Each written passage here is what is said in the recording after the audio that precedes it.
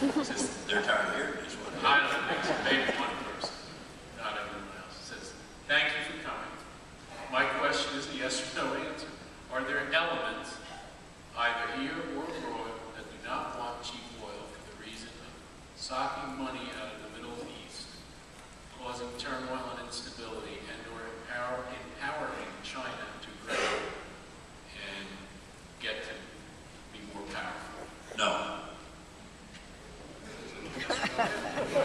Yeah.